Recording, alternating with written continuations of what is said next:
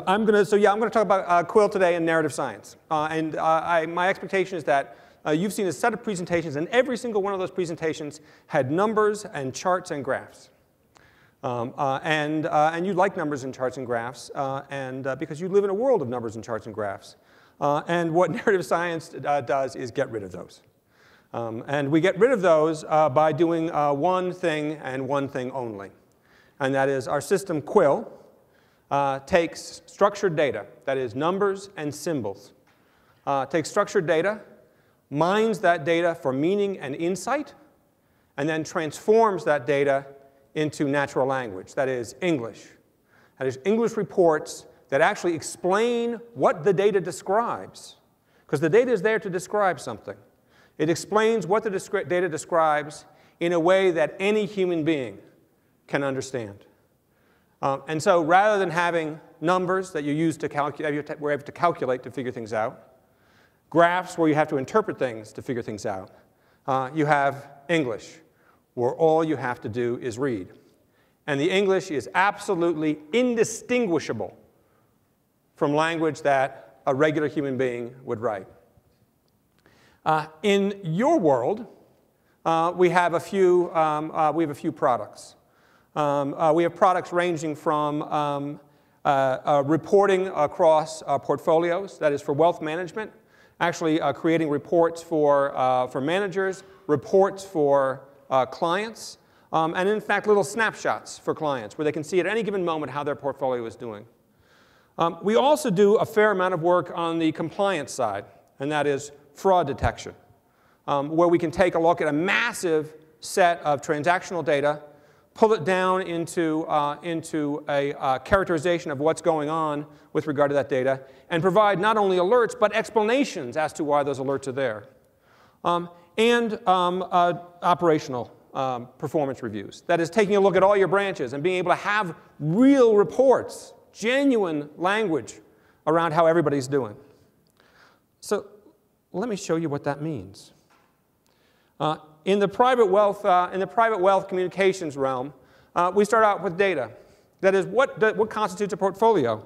And it's data that you would expect. It's like people, someone's holdings, uh, the state of the market uh, at any given time. We can take that and turn it into this an actual uh, explanation of what's going on that a portfolio manager can look at right before they have their call. And so they can actually be in a position they can actually be in a position where when they're talking to someone, they know exactly what's going on with their portfolio, not because they've dug deep into it, but because a machine has dug deep into it and has reporting it to them directly. And so they have the talking points in their hands so they can communicate directly with a client and sound like the smartest analyst in the organization. Because in fact, the analysis was done based upon the best thinking of the smartest analyst in the organization, but done by the machine and done at scale. Of course, it's often the case uh, that an individual doesn't have time, or even a manager doesn't have time, to have a personal communication, a one-on-one conversation uh, with, uh, with a client. If you have enough clients, uh, and I expect you all want to have enough clients, uh, if you have enough clients, uh, then in fact, having those one-on-one conversations are impossible. But you still want to have one-on-one communication. One-on-one communication where you can talk about how somebody's doing, both in terms of the top line, how they're doing compared to the market, how they're doing compared to the goals, their goals, how they're comp doing compared to benchmarks, and in terms of the individual drivers based upon the decisions of their manager and how those actually impacted their portfolio. Uh, of course, you might not want to have all of this at once, and so you could just have a snapshot. And the snapshot just gives you visualizations that show you exactly what's going on at this moment in time and the best talking points internally uh, for what's going on. That is an understanding of what I should care about right in this moment about what's going on in my portfolio. All of this is generated by a machine. A machine that has been trained to understand portfolio analysis and as a result is able to look at the data figure out what's going on, figure out what's interesting, figure out what's important, and then translate it, transform it into language that anyone can understand. And in fact, the language itself is aimed at the different audiences that are going to read it. The language for a manager is going to be the language of talking points and technical. The language for a particular client might in fact be more colloquial, more straightforward, more top line, as opposed to all of the details of what's going on. Um, and in fact, probably is going to focus on the positive aspects of what's going on in their portfolio, as well as how well they're tracking against their personal goals. Now, we can actually do this kind of with any data at all.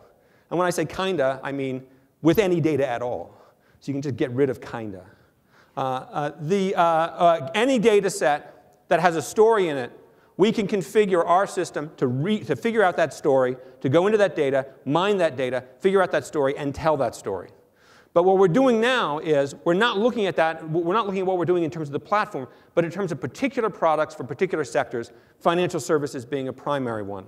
And one of the places where we found there is a tremendous amount of interest is in fraud detection.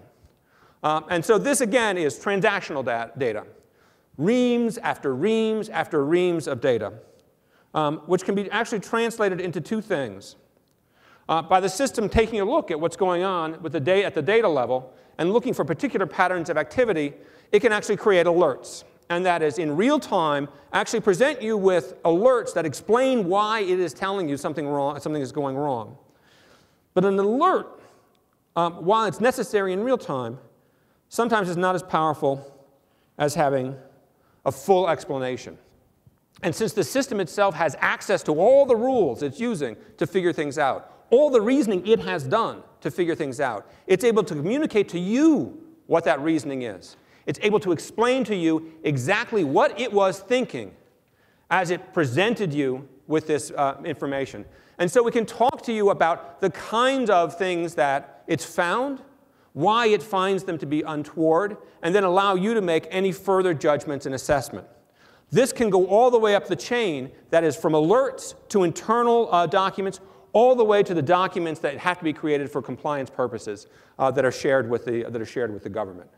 Um, every single stage of it can be done by the machine and actually allow the people who are doing it now to actually start working in places where they're working at the best of their game that is going through uh, transactional data and figuring out what's going on uh, in that transactional data is not nearly as powerful as looking at new ways to find uh, new problems in the world. Um, and so what we do is we have the machine tell the story. We have the machine do the analysis.